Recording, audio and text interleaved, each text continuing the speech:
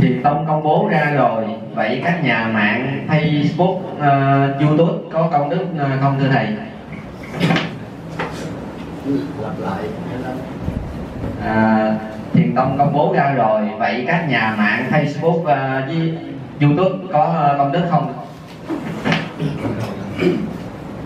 Nếu mà người nào nghe họ tiếp nhận được là cái nhà mạng có công đức bất cứ hình thức nào cũng có công đức hết rồi à, con còn hỏi tiếp đi. À, câu hỏi thứ hai. Các vị phật là toàn năng toàn giác. Vậy tại sao khi về phật giới lại có mã số riêng? À, ai cấp mã số này cho các vị phật đó? Cái này à, bên bên Phật giới tổ chức chứ làm sao biết. Tôi chưa về bển. Tất cả những gì con người ở trái đất này cũng có mã số chứng minh nhân dân. Thì vị Phật về bển nó cũng phải nằm trong cái quy luật này để người ta biết người ta liên hệ. Ví dụ một cái ông Phật A với Phật B muốn nói chuyện thì hai người biết thôi chứ không phải giống như mình ở đây nói cái là bốn năm người biết không phải vậy. Bên Phật giới là người ta tuyệt đối bởi vì đây nó là toàn năng rồi giác bên này. Cái tổ chức Phật giới nó không phải là cái tổ chức của thế giới vật lý. Có nghĩa là muốn nói người nào người đó nghe thôi chứ không phải giống như mình. À, à, sách 36 vị tổ lại có lực dương à, rất mạnh. À, tại sao hả thầy tổ nắm tập quyền ký cái tập quyền ký này nó mạnh chứ không phải ông tổ mạnh đâu. Ai mà nắm được tập quyền ký này mà thuộc rồi đó thì dường như là tất cả những đối thủ xung quanh không được quyền nói không làm cái gì được hết đấy. Tất cả những vị mà bây giờ có cái uh, tập quyền ký trong tay mà mà thông hết đi.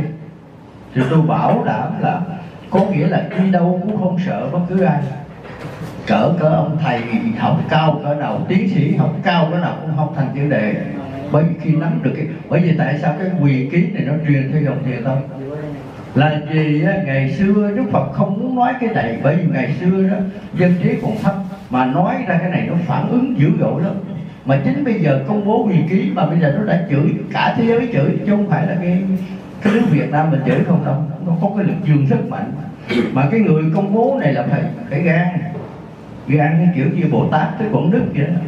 Mới dám công bố. Chứ nếu mà dán nhát không hoàn toàn không dám công bố cái quyền ký này ra còn hỏi tiếp đi à, gần đây có một số à, vị không biết chữ nghe thiền tông và hiểu muốn tu theo thiền tông, vậy chùa Tân Diệu có chấp nhận những vị này không hả, thưa thầy? Biết chữ biết chữ, cái chữ tu thiền tông nó khác. Có nghĩa là bây giờ người ta đã điều kiện, đã ra cái bằng là giúp cho mình. Cái người biết chữ thì đóng sách, cái người không biết chữ ta tặng cái máy, ta tạo đủ điều kiện để cho mình làm cái chuyện này. Thì đâu có phân biệt là biết chữ hay không biết chữ cái viết chữ mà càng cao, càng chắc thì không vô thiền tông được. Anh biết chữ cỡ nào nhưng mà đừng có chấp thì thiền tông anh mới lãnh hội được. Thì nhớ cái chỗ này. Chứ bây giờ sở dĩ tranh chép mà các bạn mười cái bài trong cái máy là để ta tặng cho những người, thứ nhất những người lớn tuổi không đọc sách được. Thứ hai, những người không biết chữ, nó thẳng ra vậy có nghĩa là ai cũng phải ngộ được cái này. Muốn về Phật giới phải ngộ được cái này và tìm được cái công thức của nó. Bởi vì Đức Phật dạy cái pháp môn này là cách đây 2561 năm mới được công bố ra. Có nghĩa là trước năm 2561 năm về trước là người ta tu được Phật. Người ta tu cho cái tưởng người ta, chứ hoàn toàn ta không hiểu. Ta không hiểu tu cái chính bây giờ những cái chùa nên nhớ rằng những cái chùa mà lại hỏi cái thưa thầy Phật là gì? Hoàn toàn mười ông nói mười kiểu. À, bởi vì ta không hiểu. Thành ra cái quyền cái cái quyền ký này ra là để để chi? Để là chuẩn quá lại cái đạo Phật này. Là vì đạo Phật tới bây giờ nó đã đi lệch hướng quá xa. Mà bây giờ nói thật trong nước mình có mấy vạn cái chùa hoàn toàn cúng hết không có dạy giải thoát thì Đức Phật biết. Để chi? Để chỉnh cho đến đến đến ba ngàn năm thì cái, cái cái đạo Phật nó mới chấm dứt. Mà giờ còn mấy trăm năm nữa. Nếu mà quyền ký không ra thì cái đạo Phật nó sẽ loạn. Tôi nói thật. Nếu mà quyền ký không có ra thì bây giờ có nghĩa là xã nào cũng năm mười cái cái cái chùa đó. Rồi tu cái gì đây? Làm cái gì mà cắt chùa dữ vậy? Quyền ký ra để nó chuẩn lại. Rồi con hỏi tiếp đi à, vì sao người có công đức càng nhiều thì lại càng ít nói nếu mà con có công đức nhiều con đi nói giống như con à, một ca sĩ giỏi không khi nào cũng ra đường con. Con ca hết con ca từ cái đúng cái chỗ con mới ca. Cái người có công đức nhiều người ta không khi nào ta đi nói bếp xếp nữa. Còn cái người mà ấp a ấp úng dở dở ương ương đụng đâu cũng nói đâu kiều kiều là lại đây tôi nói vậy. Cái đó là cái đó là không có đúng bởi vì tại sao mấy ông ông tổ mà đức phật còn không cho nói? Mà duy nhất chỉ có cái ông bồ đề lạt ma ông sẽ bếp xếp mấy cái ông chết liền á. Thấy không? Đó mình phải nhớ là tổ mà còn không dám nói. Còn trần nhân tông biết sao? Trèo lên núi la để là đừng có mấy chữ nào rồi ông cũng viết sách để lại thôi chứ không dám nói đâu rồi bây giờ thì tôi nói thì bà bà thảo bà phải nhận hồi năm mươi chứ không ít đâu mấy năm sau bà mới dám nói. Mà nói thì không dám nói nữa. Bây giờ phải đợi tới đời này bởi trong huyền ký nói là đợi khi nào mà long nữ nhập tập huyền ký này nhưng mà coi thời thế như thế nào mới công bố huyền ký này ra. Cái này nó có cái dòng tiền của nó rõ ràng. Thì ờ, uh, con hỏi tiếp đi. À, khi người uh, chết cái thần thức thoát ra ở chỗ nào thì cái chỗ đó nó nó nóng lên là lý là vì sao? Thế này cái này là năm đều là đỉnh thanh thánh mặt mắt sinh thiên. Lại đây là cái luật của nó. Dương nó đi trên đỉnh đầu không khi nào đi cái dương cái bằng à, dương mà gọi là công đức nó đi lên đỉnh đầu. Còn phước đức dương nó đi đi ra mặt. Bởi vì mặt mắt sinh thiên rồi ngực làm thần tim làm người chân ờ, chân ờ, là súc sanh. Kêu bằng bằng chân ngạ quỷ vậy thì đây là cái quy luật nó theo đến cái chiều của con người. Con người của mình cao nhất đỉnh đầu là gì? Là cực dương nó thuộc nó, nó được xếp vào là công đức. Cái này là cái luật của ông Phật nói. Vì tất cả những người nè trong gia đình nếu mà ba là con dòng họ mình mà mất cứ thường thường ở trong ờ, trong bụng trong ngực thôi chứ không đi ra ngoài đâu. Cứ ở trong dòng tộc không.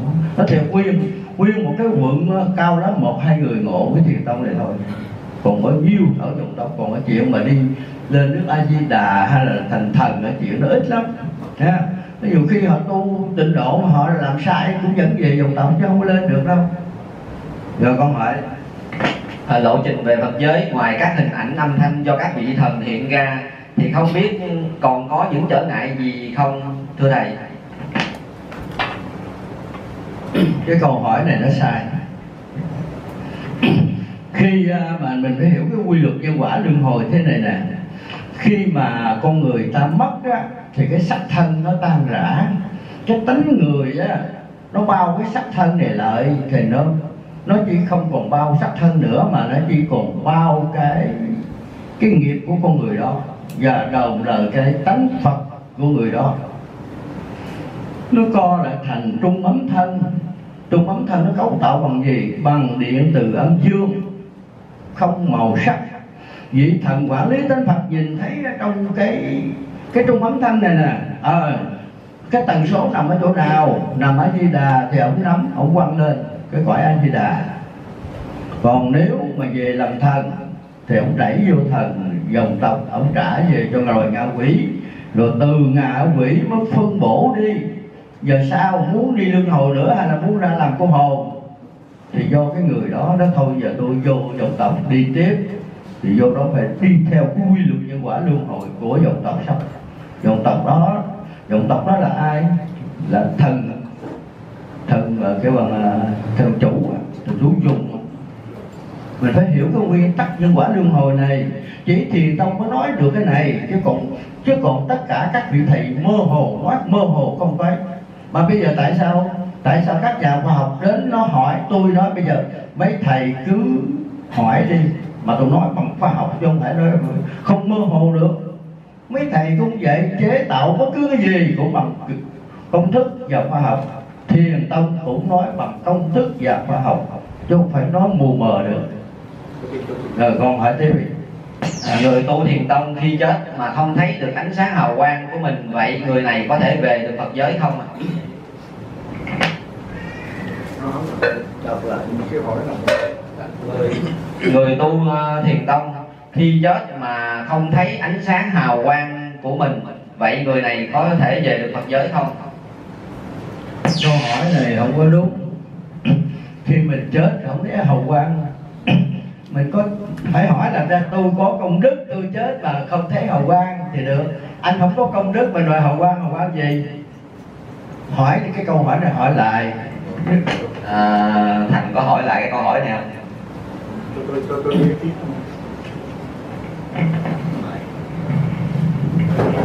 À, thưa quý vị, tôi tự giới thiệu tôi tên là Nguyễn Dũng ở Canada.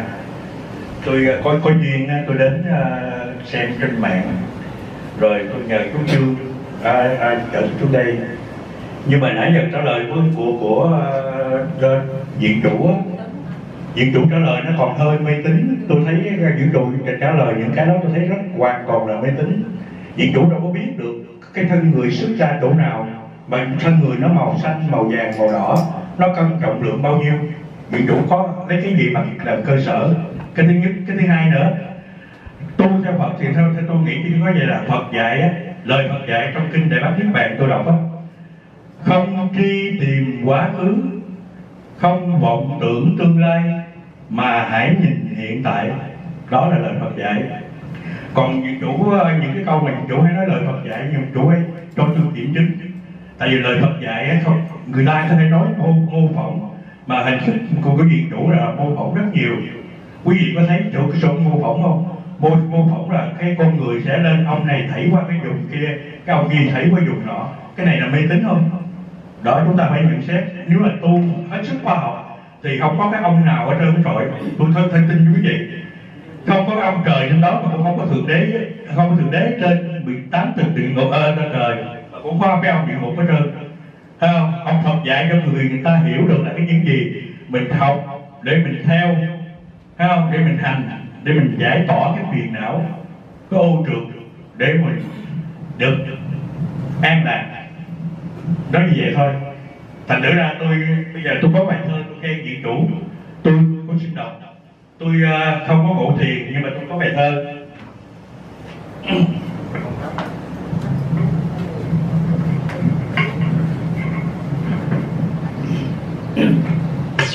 Xin lỗi tại tôi tôi là tôi sống ở, ở đất nước khoa học á thì tôi cái gì tôi khoa học tôi mới chịu.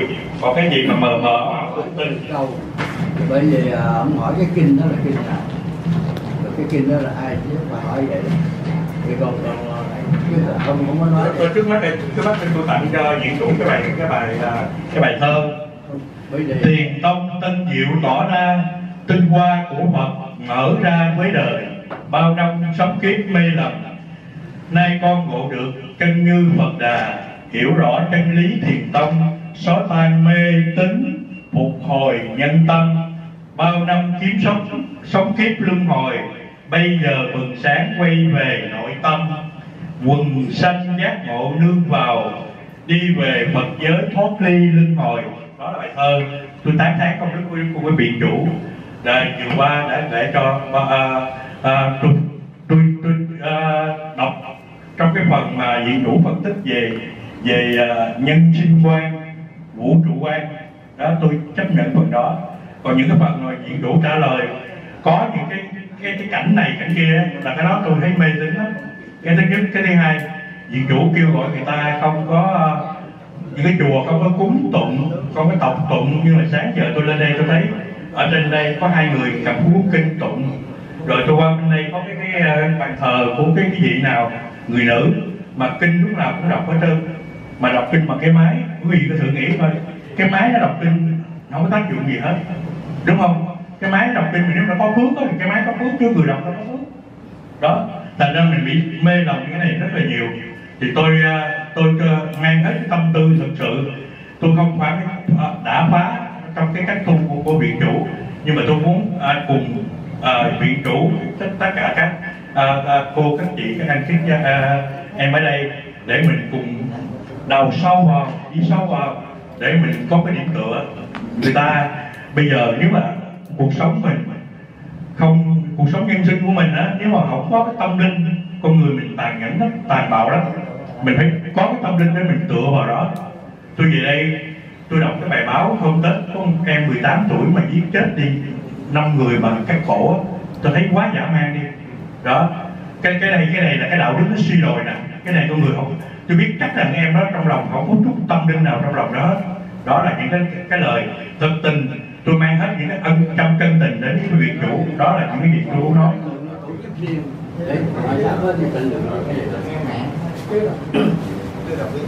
Ờ, tắt cái bây giờ cái phần này nó nằm không phải không nằm ở trong thiền tông. Mà anh nói về trong kinh vật lý thì là anh phải tổ chức một cuộc nói chuyện riêng.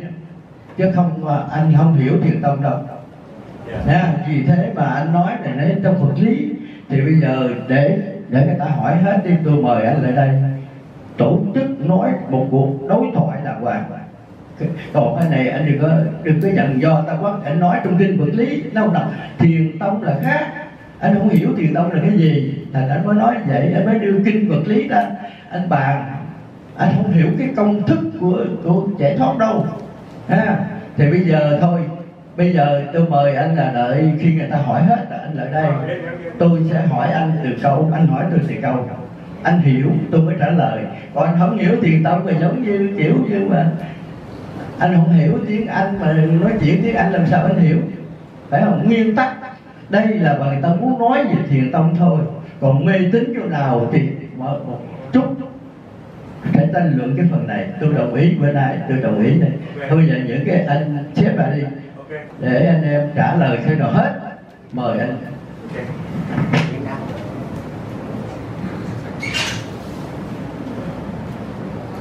Câu hỏi số 9 người tu thiền tông ngày nay rất đông. Vậy thầy có chuẩn hóa lại lần nào nữa không thưa thầy? Cái chuẩn hóa này đó nó sẽ chuẩn hóa ba lần. Mới chuẩn hóa một lần thôi. Còn hai lần nữa. Còn cái thời gian nó sẽ tính sao thì trong khi mà công bố quyền ký là trong một năm phải chuẩn hóa đời quá xong là cái cái thiền tông này tự động nó trôi ra. Chứ không còn ai nói gì nữa hết. Còn ai đủ tâm tài lực cứ tiếp tục. Là vì tôi nhiệm vụ nó thật là không còn lâu trong vòng năm đó thôi chứ quên à, thì còn cái vấn đề mà cái chủ quá nó sẽ còn ba lần. Giờ con hỏi.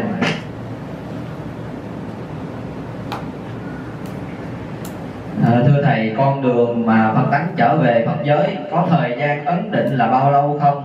Trung ấm thân lúc rơi thì di chuyển xuyên suốt hay có dừng lại gặp trở ngại gì à, khác lúc rơi không? Trở về Phật giới là tùy theo công đức của mình. Nó rơi ra nhiều ấy là do công đức của mình. Chứ cũng không ấn định được. Nếu công đức vô lượng đi rất nhanh. Còn công đức ít đi từ từ. Đó là đó theo cái dòng cái công đức của mình rồi, con.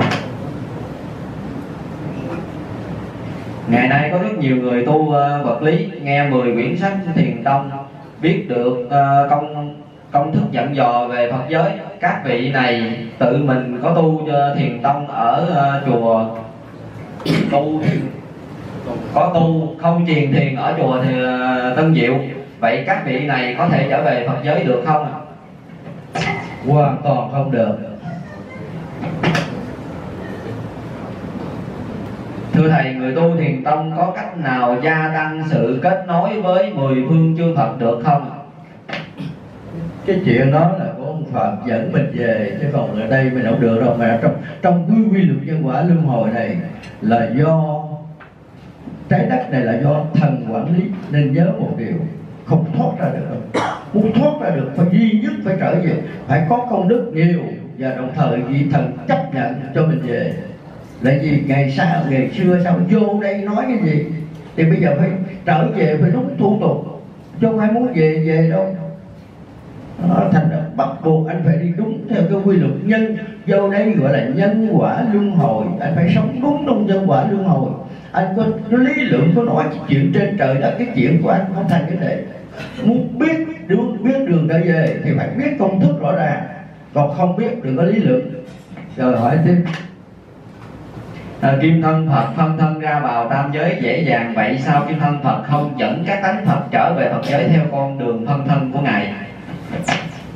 Phân thân là đội nói phân thân có nghĩa là con mắt Phật nhìn xuyên qua cái tam giới qua cái điện từ. Điện từ âm dương của tam giới mới nhìn tới cái cái địa, địa cầu mà tới cái người nào muốn cái gì. Chứ đâu phải Phật ở trong này đâu còn bây giờ mình muốn về hồi đó mình vô bằng cái gì? Vô hải triều âm bây giờ phải ra bằng hải triều dương. Đi theo con đường của nó. Thì sao? Vì sao cái con đường nó đi ra được? Vì cái nơi đó nó không có nó không có nhân quả luân hồi. Anh mới ra được. Còn anh ở trong nhân quả luân hồi anh đừng có mong. Đừng có mong mà rồi anh thoát ra được cái này. Em phải đi vô cái gì? Tại sao vô được? Vô bằng hải triều âm.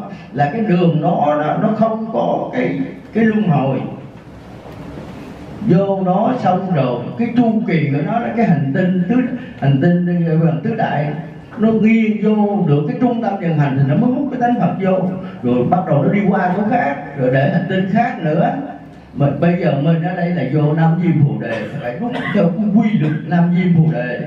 Anh không có thoát được đâu. Vì thế mà người ta không hiểu cứ ngồi ở đây mà tu tu cái gì trong này, lý luận cái gì trong này. Mình phải hiểu cái nguyên tắc này mới hiểu truyền tông được còn ngồi trên đây mà cãi giả lý luận thì kia thôi cái chuyện đó dẹp đi làm ở trong này không xài được. Rồi còn hỏi tiếp.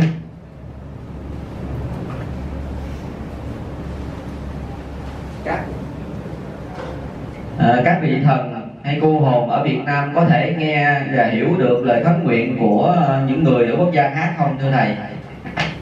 cái vùng nào vùng nấy cái đã đã ta đã phân phân bổ rồi vô cái tam giới này vô cái thế giới này rồi.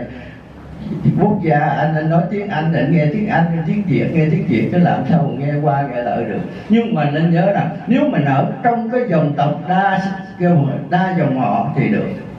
Còn nếu mà anh ở trong đó mà anh không có nằm ở trong cái dòng tộc đa dòng kêu bằng đa họ thì anh không thể được. Bên trái đất này đấy mình không phải là cái, cái người Việt Nam đã đây có nhiều khi bởi vì cái ngày xưa. Mình vô đây mà cái cái trái đất này nó chia đâu có bao nhiêu người. Rồi bây giờ dần dần bảy ngàn năm sau nó mới chia ra. Nó chia ra mấy trăm quốc gia. Mà bây giờ đó thì tới năm 2000 mà tới hai hai ngàn năm trăm sáu mươi hai năm là là của Đức Phật đó, thì bây giờ thì trên thế giới này một trăm à, chín mươi mấy quốc gia cái cầu xưa nó nó nhỏ. Mà mà nếu mà nó tính hồi cách nay chừng một ngàn năm, có trên 300 quốc gia trên trái đất này. Rồi sau đó nó mới thôn tính lại. Rồi bây giờ nó nở ra. Thì cái phần này chưa có ai hỏi, tôi không nói. Thì bây giờ nên nhớ rằng, mình người Việt Nam thì phải hiểu Việt Nam nếu mà cái dòng, nếu mà anh là, anh cái dòng tộc á, cái dòng tộc anh nó len qua Campuchia, Mỹ hay cái gì đó thì nếu ở trong dòng tộc anh thì nghe được, còn nếu không có thôi. Thì cứ nghe người Việt Nam mình cứ căn bản rồi Việt Nam thôi. Câu hỏi tiếp theo. Con có một người bạn mà là, tức là vì bị phu sinh, có dính đến việc sát sinh. Vậy bạn con phải làm thế nào để tìm được con đường trở về Phật giới thì tạo công đức thôi, sát sinh mưu sinh, giết người cũng về Phật giới cũng được mà. Trong Phật, trong trong kinh nói là một kẻ đồ tể giết người mà vẫn về